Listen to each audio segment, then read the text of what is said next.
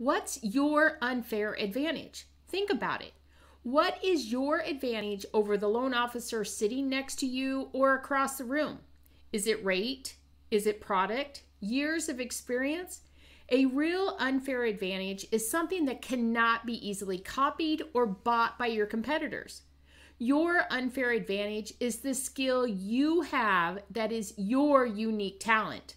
Some unfair advantages that you may already have but might not think about as being an unfair advantage can be your passion, your experience, the community or market you're in, your intellect, and your knowledge. We work in a very competitive industry. And in a very competitive industry, you need to identify or establish your own unfair advantage if you want to create longevity and sustainability in this industry. Let me first tell you that in order for any of us here today, in order for us to have an unfair advantage in anything we do in life, it first starts with you, right up here. That's right, it's all in your head. It's not only the way you think, but more about your own perception of yourself as a mortgage professional. The number one reason mortgage professionals can't max out their capacity on a consistent basis is because they are too busy competing with every other loan officer in the room. You're a bunch of little fish that look the same, smell the same, sell the same product, same rate, same great service. But what's hurting you even more is that you are selling the same thing to the same audience, primarily realtors. You're out chasing down the purchase business. So, as you've heard many times, you're basically a little fish in a big pond. And then you come up with a great idea, a new marketing strategy, a new approach, and you become somewhat of a bigger fish in a smaller pond. Maybe you become the go to down payment assistance guy. You become the mortgage gal that's great with reverse mortgages. Okay, cool. You start to stand out a little more. But is that enough? Is that sustainable? Maybe for a little bit until your competition says to your same realtor, Oh, yeah, I've got that loan program too. Being a bigger fish in a smaller pond may get you somewhere, but it's only temporary. Now, this image might be a little cute, but it's not the game changer that you need. I want you to become a really big fish in a very big pond. So big that the little fish swim away rather than try to imitate you. In today's mortgage world, where product and price are not a defining factor, being a big fish in a little pond is not enough. So, how familiar are you with creating your blue ocean strategy and how it applies to you as a mortgage professional? The blue ocean strategy is the simultaneous pursuit of differentiation, opening up new markets and creating new demands. It's about creating and capturing uncontested market space, thereby making your competition totally irrelevant. It's based on the view that the mortgage market boundaries and structure are not a given, and you can reconstruct the current mortgage market by your actions and beliefs. Blue oceans are not defined by realtor referrals, nor are they defined by mortgage interest rates or home buyer cycles. Red Ocean strategy is all about competition. Red oceans are basically the current and traditional mortgage markets, marketing to realtors, your sphere of influence, and chasing the new home buyers. Red oceans are the known market space. Boundaries are defined, accepted, and the competitive rules of the game are already known.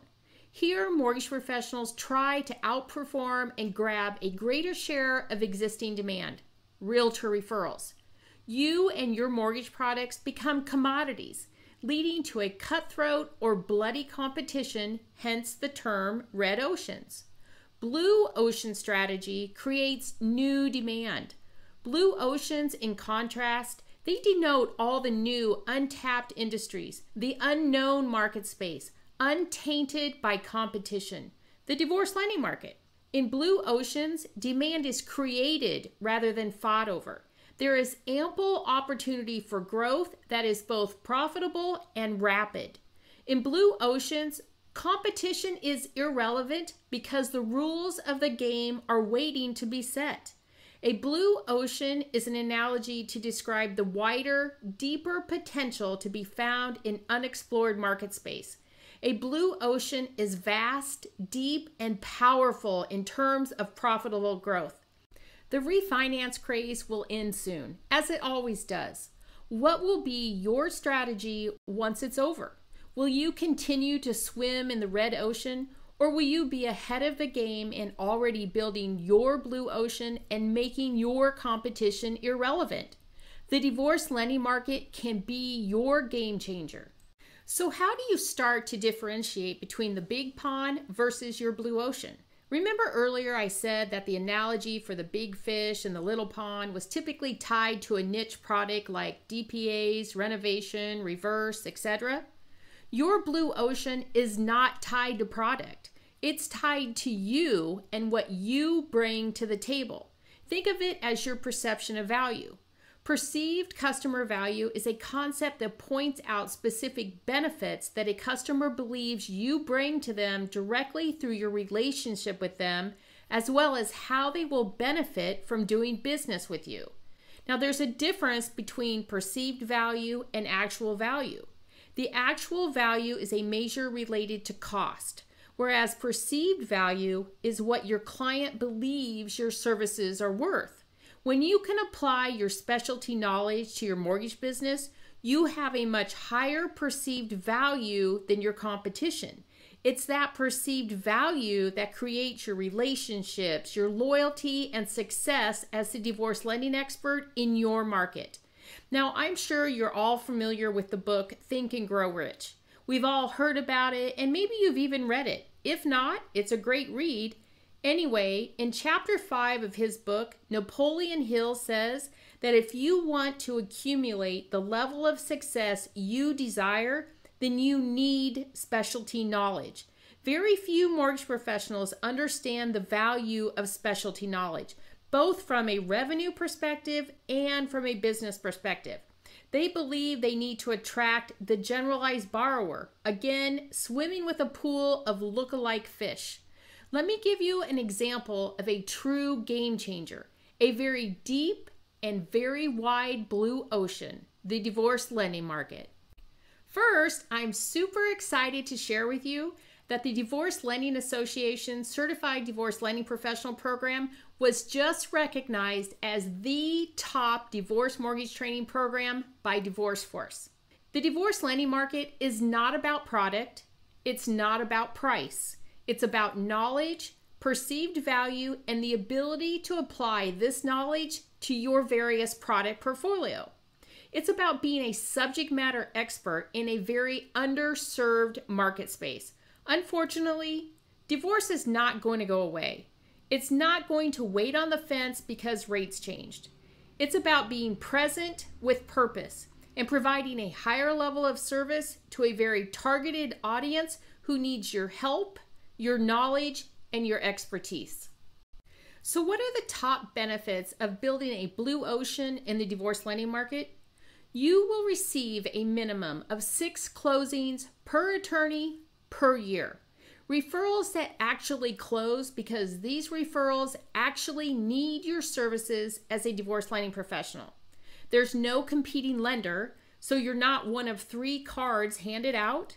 And once you become the go to expert with that attorney, you are forever their go to expert. So you're not rate shopped, you don't get ghosted. It all ties back to your perceived value. You are ahead of the referral. Now, picture that infamous funnel image, right? Where you put as many more prospects in and only a few fall out at the bottom. Well, flip the funnel upside down because you're now reversing tradition. My favorite benefit is this one. You have work life balance and control your time because you're not working weekends or evenings. Well, maybe this is one of my top favorites too. You are now in a position to leverage your position as the divorce lending expert in your market. How you ask? You now have what realtors want divorce referrals. You have that golden ticket, but don't share with just anyone. You need to control that leverage and then pick and choose who you do and don't want to work with. What's the value of just one divorce loan worth to you? Let's assume an average loan amount of $300,000 and say 125 bips in compensation. Just one divorce loan is worth $3,750.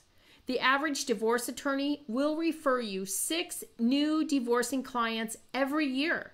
That's over $22,000 in commission annually from just one attorney. What happens when you develop 10 strong attorney partnerships? That's $225,000 annually in commissions working with just 10 referral partners. You could easily increase, if not double that, without a lot of hand holding and extra effort when you have the right approach and systems. Pack on the other divorce professionals, CDFAs, CFPs, DPAs, mediators, real estate referrals, and your mortgage business has now evolved into something pretty significant and something pretty awesome. Now, I'm not suggesting that everyone abandon ship on the realtor referrals, although you certainly could. I know I did. But just imagine if your divorce lending practice became 60% of your overall business. You can easily build a sustainable divorce lending practice, replacing your current need to chase real estate referrals. You'd have less headaches, you'd work less hours, you'd have more loyalty, more respect, and more sustainability. The refinance craze will end soon, as it always does. What will be your strategy once it's over? Will you continue to swim in the red ocean or will you be ahead of the game and already building your blue ocean and making the competition irrelevant? If you're interested in building your blue ocean in the divorce lending market, please visit us at getcdlpcertified.com for additional information. You can get started immediately, schedule a call with us, or request additional information.